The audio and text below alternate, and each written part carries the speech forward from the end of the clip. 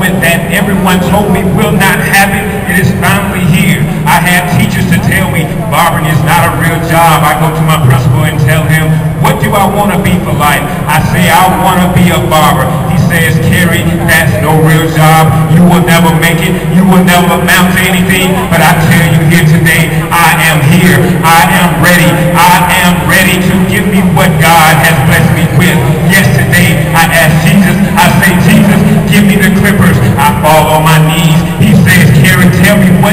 I say, Jesus, I want the clippers. He says, Kerry, here are the clippers. Today, ladies and gentlemen, I am doing what everyone else failed to do. I am bringing barbering back to the basics. Here we are. Let's begin. Go, Carrie.